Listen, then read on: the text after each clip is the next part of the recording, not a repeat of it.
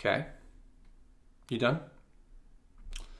Welcome back to the Poker Vlog. This is episode number 92, and for this one, I go over pretty much like five days of playing poker at Run It Up Reno, but it's mainly about the meetup game that Andrew and I had there. And uh, then I go over kind of one of the, the start to one of the biggest downswings that I've ever had. Uh, so I think it's a pretty cool episode for a lot of reasons. I think you guys are going to enjoy it a lot. But before we get into it, I've got an announcement to make. Last video, uh, we did a free roll contest for um, pokercoaching.com. Uh, for the Big 50, we're giving away two entrants into that and two one-year memberships to uh, pokercoaching.com. So, without any further ado, the two winners for that are Kieran Appleby and Simon Baker. Congratulations, you guys will be receiving a email shortly. And uh, let's go ahead and get into it. It's my fourth day in Reno at the Peppermill. Coming off an $1,100 cash game loss from two days prior. Took yesterday off to work on a video, so I'm looking forward to getting back after it, and hopefully I'll book a win. Night is already starting off well because as I'm getting some footage and walking in, I see Hall of Fame meetup gamer Brian Stafford. Going, hey Brian, how are you? There he is. He's from San Diego, but he's been to more meetup game locations than anyone else. The event tonight is held in the high limit section of the poker room. It has six tables in an enclosed area towards the back of the place. We get a nice group of people to fire in some 2-5, no limit. It's a $500 cap. That's what I buy in for. And I'm not interested in wasting any time. I pick up pocket aces within a few minutes. We're under the gun and we open to 15. The hijack calls. He might as well just give me all his chips now. We can move on to the next hand. I guess he doesn't want to do that. He prefers to drag the pain on, play this hand out. Small blind also hates money more than just about anything. Comes along too. Three of us are going to the flop. It comes Jack 10 6 with two hearts. Small blind checks. Seems like a good enough flop to bet. I make it 30. The hijack makes the donation. Small blind isn't feeling as charitable, and he folds. It's heads up. The turn is the four of spades. It's unlikely that the hijack would have just flatted with anything that was beating us on the previous street, since there were so many draws out there, and if we were ahead on the flop, we're probably still ahead. We need to keep betting because there are potentially a lot of bad rivers for us. I bet 65, the hijack is not going away, he makes the call, the river is another 10, all the draws miss, there shouldn't be many 10s in my opponent's range, so this is not too bad of a card. I have two options. I can check and try to induce a bluff from a misdraw, since the hijack won't be able to call a bet with those holdings, or I can bet around two thirds pot to target a jack, try to make it seem like I'm bluffing with a misdraw. I go with option number two. I slide in a bet of 150. The hijack tanks for a long time, then he finds it in his heart to reach down deep into his pocket and make one last $150 donation to the Brad Owen charity for lanky white guys. He makes the call. He gets some bad news when he sees that I've got aces for the win. He gets more bad news when he finds out later that I don't qualify as a 501c3, his river call is not going to be tax deductible. We're up a couple hundred before picking up pocket queens under the gun plus one. The under the gun player limps in. I raise to 25. The cutoff calls, the small blind calls, and the under the gun limper calls as well. Four of us are going to the flop. It's 10 6 4 with two hearts. Checks to me. I bet 60. The cutoff and the small blind both call. The under the gun player folds. Three of us see the turn. It's the ace of hearts. The Small blind checks. I check with the intention of calling if the cutoff fires. He doesn't, he checks back. The river is another four. Small blind checks. I likely have the best hand and I consider betting small to get a call out of a 10. Instead, I check. Cutoff checks. I turn over the queens. Small blind says that it beats his 10 and the cutoff doesn't show. We scoop the pot. Two hands later, we're dealt ace 10 of diamonds in the big blind. The button limps in. Small blind raises to 15. I call for 10 more. The button does too. We're going three ways to the flop. Ace jack 5 rainbow. We've got top pair with some backdoor draws. Small blind checks. I check and the button checks. The turn is the 9 of diamonds. Small blind leads for 25. We've got a flush draw to go along with the pair. I call and so does the button. The river gets us there. It's the king of diamonds. We've got the best hand in the world. Small blind is concerned and checks. I'm less concerned and bet 70. The button calls. Small blind folds. I show the goods. The button shows that she had king 9 offsuit, she river 2 pair. We win another one. We're already up 565 and we're running great, which is not how I was running the previous session that I played. I switch over to lose a $20 bomb pot at Brian and Joe Stapleton's table. Pretty cool that out of all the places in the casino to lose money, Joe chose to do it at our meetup game. Next, I pick up Ace Jack suited in the hijack, under the gun limps in, I raise to 20, Joe calls on the button, big blind calls, and so does the limper. We're going four ways to the flop. It's king four three rainbow. We all check. The turn is the nine of diamonds, so we pick up a flush draw. The big blind checks. Under the gun bets 40. Folding is out of the question, so I can call or raise. I take the aggressive approach and I make it 130. My line doesn't make a ton of sense. I'm basically only repping kings, nines, or potentially ace king. Joe folds, and so does the big blind. The under the gun player calls. The river is an offsuit 10. The player checks. I don't think this particular player would fold a king to me, and I can beat weaker diamond draws. I check back. The opponent rolls over 6-5 offsuit for a busted straight draw. 6 high is not going to win it. I turn over ace jack to claim 100% of the pot. Joe is in disbelief because he folded would have been the winner. oh man. He's over there. He's at the draw table. Oh man. You, you, you, like said, look, he's like, I had uh, 10 7 of diamonds and I folded thinking that I was gonna, 7 diamonds. that I was gonna be up against bigger diamonds a lot of the time. Later, I pick up King Jack offsuit in the cutoff. Under the gun plus one limps in. I go ahead and limp as well. Joe calls in the small blind. The big blind checks. Four of us go to the flop, and it's King 9 8 with two clubs. Under the gun plus one leads out for 20. I call, the small blind and the big blind fold. We're heads up. The turn is a 7. This time the opponent bets 60. This dude keeps potting it. I get the feeling he's strong and can't think of many hands that he's betting for value that I beat other than maybe King 10. I'm confused and I don't feel too comfortable. I'm gonna lay this down, the way, the way they talk about the way they the way they talk about the game, man, was so good. You want to show the bluff? Show the bluff? I thought big bluff. I thought there in the short draw. The player had king five of clubs, so he had a king with a flush draw and a gut shot straight draw. He gets me to fold the best hand. It's bomb pot time. We're on the button with pocket queens. Each player puts in 20 and we go straight to the flop. Comes jack 3 3. Checks to me. I bet 60. Joe started the hand with 20 and was already all in pre-flop, so he'll be getting to showdown. Middle position player calls, and this concerns me. The turn is an ace. The opponent checks. I check back. The river is another jack, so I don't really beat anything. Middle position player checks. I check. Joe and the other opponent both have threes. They split it up with the middle position player winning all my $60. Jason Somerville then strolls in. It's cool to have him here. It's his birthday today. Also, David Sklansky makes an appearance. It's great to see him. I've got piles of Sklansky dollars that I've accumulated over the years, and I'd like to redeem them for actual dollars. That doesn't happen though. Rated GTO also comes by, and so does Kevin Martin and Grips, who is the newest coach over at pokercoaching.com. Over at my third table of the night, I pick up ace deuce of diamonds in the small blind. Cutoff opens at 15. The button calls. I bought the button for the next hand, so it's only 10 more for me to call, and I get to close the action. That's what I do. The flop comes queen 8 6 with two diamonds. I check. The cutoff fires for 35. The button folds. I'm not going anywhere. I make the call. The turn is an ace. I check. Cutoff bets 60. Definitely not going anywhere now. I call again. The river is a 4. I check.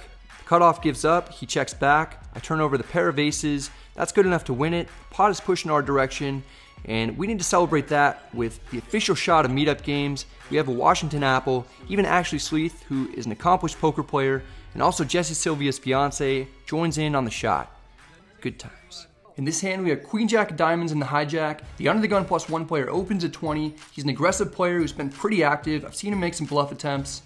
I call, the flop comes ace 10 6, all diamonds. We flop the second nuts, the royal flush draw. Under the gun plus one bets 30.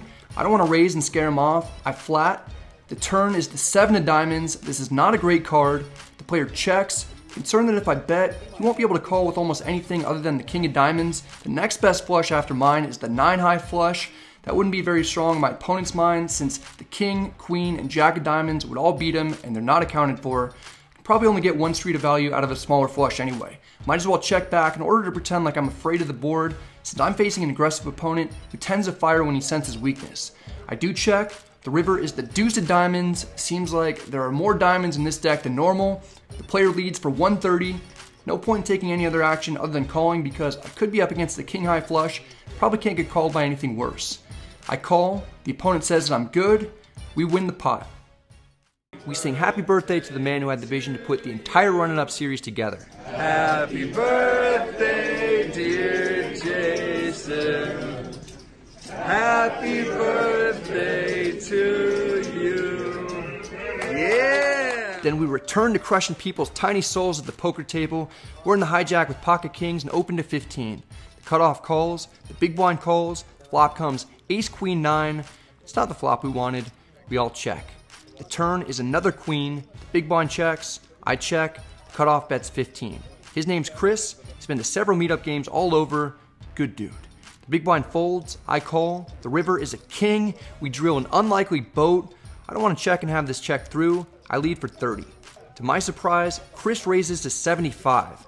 Doesn't have much left behind. I'm beating everything except for pocket aces and pocket queens, which Chris shouldn't have, so I jam for 195 effective. I'm in. In advance? All in. Thank you. Kings full. For real, I Mike? thank you. Okay, here's the thing. nice. Jack 10. Wow, that's Not nice. pay nice, A man. you know? But Always fun to hit a card that gets you paid. A few hands later, we're in another $20 bomb pot. Flop comes ace 10 4 rainbow. I look down and I've got ace king offsuit. Strange when you pick up a real hand in a bomb pot. Checks to me, I bet 65, folds to the under the gun plus one player. He calls, we're heads up. The turn is a six. The opponent checks. I bet 125. That's enough. The player folds and shows king queen of clubs, so he had a gutter and a backdoor flush draw on the flop. We do another $20 bomb pot shortly after, and the flop is Queen 10 8, all spades. We look down and see Ace 9 with the Ace of Spades. We've got all kinds of potential. Checks to the hijack, he bets 75. I put in the semi bluff to 300. It's gonna be very tough for anyone to get involved without a monster hand. Folds back to the hijack, he shows Queen 4 offsuit and throws it in the trash where it belongs. The run good continues, and it's never, ever gonna stop till the next day, and then it's going to develop into a 7K downswing, but we'll talk about that later. It's still tonight, and I've got ace queen offsuit in middle position. I open to 15. Small blind calls, so does the big blind. We're going three ways to the flop. It's queen seven deuce with two clubs. We got top top and a backdoor flush draw. Both opponents check. I bet 20. Small blind calls, then so does the big blind. The turn is another deuce. This is a great card because it makes it even less likely that I was up against a set on the flop. Both players check. I bet 75. Small blind makes the call. Seems like he probably has a queen as well. The big blind folds. It's heads up. The river is a six. The flush draw bricks. Small blind surprisingly leads out for 125. It's a pretty small bet. Looks like he's trying to get the showdown cheaply. It's not very much that he can have the way the hand was played. It has me beat. Most of the time, the best he'll show up with is ace queen also. I put in the raise to 300. It's not a very large raise because I don't want a hand like king queen, queen jack, or queen 10 to fold. If I made it 400 or more, the opponent could potentially lay those down. The player tanks for 2 minutes and 50 seconds. The longer he thinks, the more I want him to call. Eventually, we hear it. It's a tournament. We turn over our hand, the player lets his go. We win one big final pot to close out a fun session. Stack gets more monster. After 8 hours and 15 minutes of poker, in which almost everything went our way, we rack our tower up.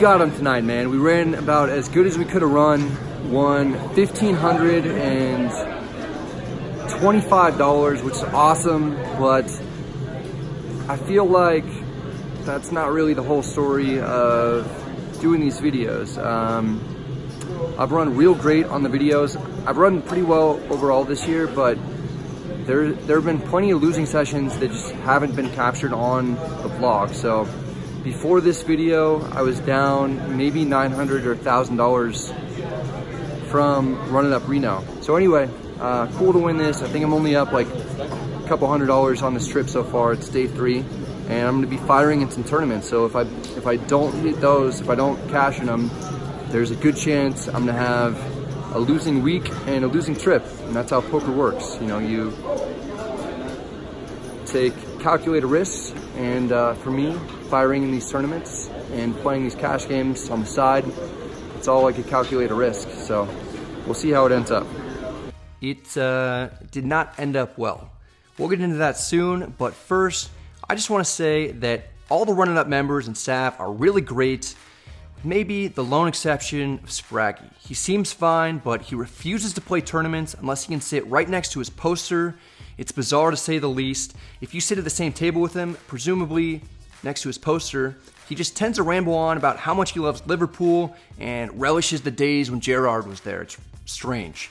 He also insists on leading large groups of people down underground tunnels in which he has no idea where the hell he's going. No, no, no, I'm not. I'm not. Tournaments didn't go well for me, but the one highlight did happen when I got it in three ways pre-flop with pocket nines versus king queen and Spraggy's pocket deuces. And I busted this guy. This is the best. What a dream. Happy birthday, Spraggy. You'll notice that all the clips from here on have the camera vertical. That's because I wasn't planning on putting these on a vlog. They were shot for Instagram, but since I lost so much cash money, I thought it was important to show what triggered one of my worst downswings ever. This tournament is a small buy-in, but it's really one of my best showings out of the several that I played. I stacked someone soon after that Spraggy hand with pocket kings. Then, as blinds increase, someone shoves with a short stack, and I call with king jack suited. Turns out I'm in great shape since he has queen jack of spades. Flop comes out, and I'm safe. It's 8-8-4 rainbow. Unfortunately, the turn gives my opponent a flush draw, and then he drills it on the river. All of a sudden, I'm somewhat short, and then the small blind shoves and has me covered while I have ace 9 offsuit in the big blind. I call. I'm glad to see he has 10 8 of diamonds. I'm even more glad to see an ace queen 4 flop. The opponent will need runner runner to beat me, and the turn is the king of diamonds. Don't do this to me, man. Come on. The river is the 7 of diamonds. I get beat back to back by backdoor flush draws. Excuse me. Good game. Two hands I play in a row. Poker is cruel to me. I head to a cash game session later that night, and I'm already getting torched before Jared, who is mostly a 5'10 wild man, transfers over to our 3-5 table and straddles for 20 in the cutoff. I've got Jack 10 suited, under the gun plus 2, under the gun plus 1, limps in for 20. I assume he has a decent hand that ordinarily he'd be raising to 20 with if it hadn't been straddled so big. I just flat, the button calls, the cutoff straddler is last to act since it hasn't been raised, and he makes it 120. The button calls, under the gun plus one folds. We're all pretty deep, so I call. The flop comes queen 9-9 with two clubs. We flop the straight flush draw. I check. The cutoff only bets 100. The button calls. I could just flat, but I played with the cutoff a decent amount and know that you can have all kinds of random hands. I prefer to take a more aggressive approach and try to take it down now since I'm out of position and currently only have jack high. I raised to 500. The Cutoff jams for about 800 more effective. The button folds. I can't get away from it. I call. The turn is another nine. It's a terrible card.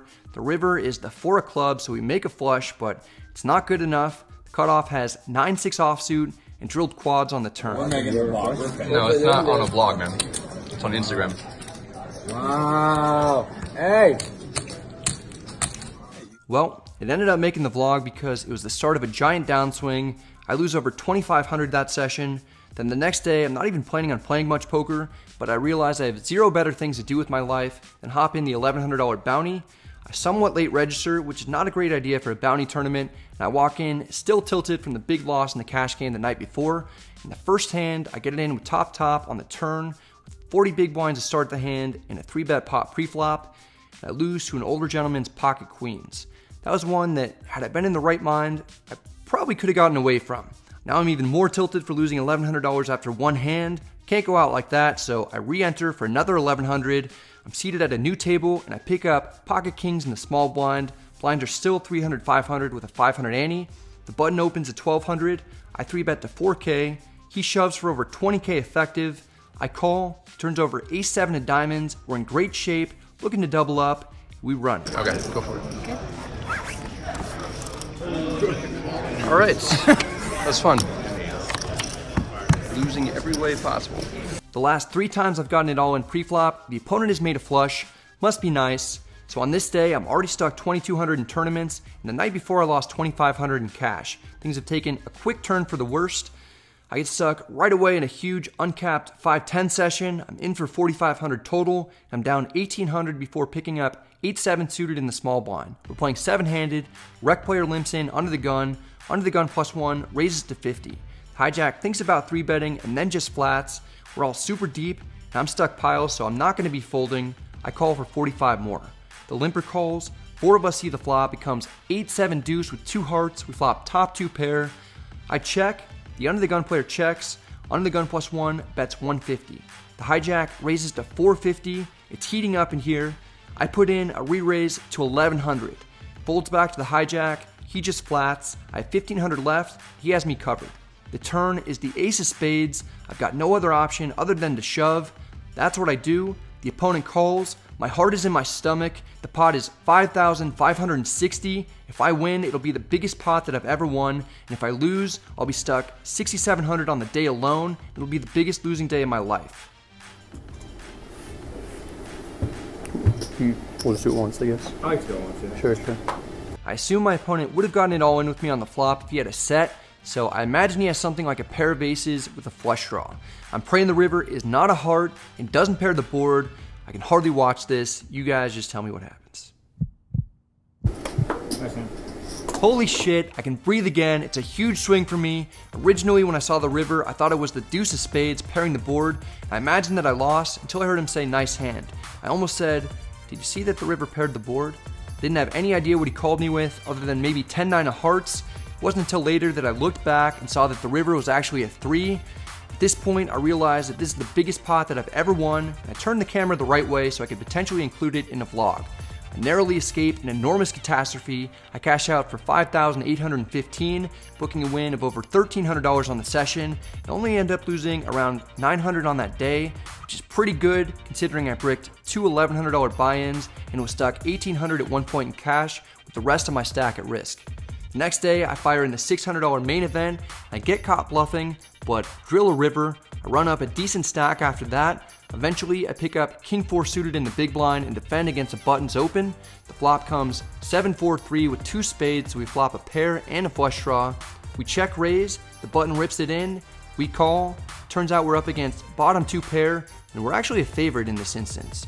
The turn is a deuce, the river is a six. We don't improve. That was a massive pot that we lost that would have given us piles of chips. Instead, we're back down to starting stack. Good news that I do get sat next to my Uncle John, who would eventually cash in the main event. My tournament life comes to an end right before the dinner break when I get it in and lose a flip with ace queen against pocket nines. Ultimately, I lost nearly everything that week in Reno. I was stuck $119 in cash games despite winning 5 of 7 sessions. I really only lost in 2-5 though. 510, I did pretty well, luckily. On the tournament side, I got torched. I bricked each one, but at least I was given a free entrance into the main event for hosting the meetup game earlier in the week. Otherwise, it would have been even worse. And that was the start of my downswing. When I got to Las Vegas, I thought it would end. My first session, I picked up pocket aces in 510 and got it in against kings preflop for almost 1500. The dealer hates me though and put a king on the river. I lost to the opponent's set. I proceed to lose 2K my first day in Texas too. It happens. We'll talk about that a little bit in the next video, but I had a great time overall in Reno. There's more to the series than just making money in poker. Run It Up is also about getting hammered and singing karaoke.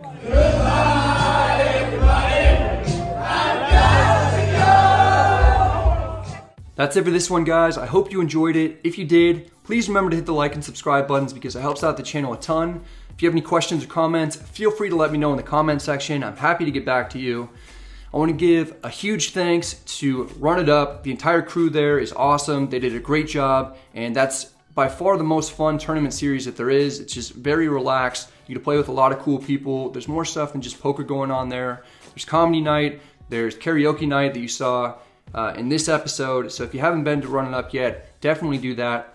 Also check out pokercoaching.com. You can see a hand that I made a poker quiz out of on the site that covers um, it covers a hand that I played in a session that I'm going to make a vlog out of in the future. So you can get a sneak preview of that. I have a link down below in the description box for you to get a huge discount. Uh, take advantage. And let's see, the World Series is coming up. I'm super excited. I've got kind of my plans all set. I'm probably gonna play six to eight events, including the main, and I'm gonna be selling action at no markup. It's just a cool way for me to interact with you guys. So if you're interested, then send me an email. You probably have to buy at least 10% of uh, a tournament buy, and I'm gonna sell them individually. And then um, I'm probably gonna decide like a day or two in advance if I'm gonna sell action for a particular tournament or not. But yeah, that's gonna be cool. I'm also uh, working with a company that I'll get into next episode, and we are to do a giveaway. We're to give away three $1,500 seats to the Monster Stack. Uh, it's going to be a free roll tournament, and that will be really, really cool. So there's going to be more details to follow um, in the next episode. Hope you guys are all doing well. Good luck at the tables, and I'll see you next time.